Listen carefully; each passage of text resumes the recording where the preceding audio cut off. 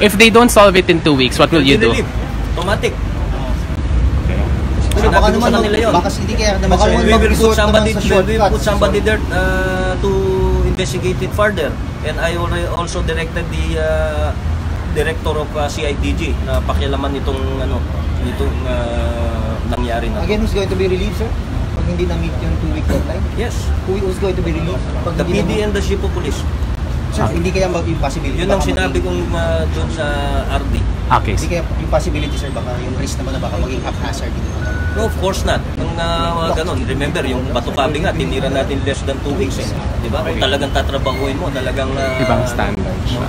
Kaya naman eh, kung talagang tutukan mo yung isang bagay,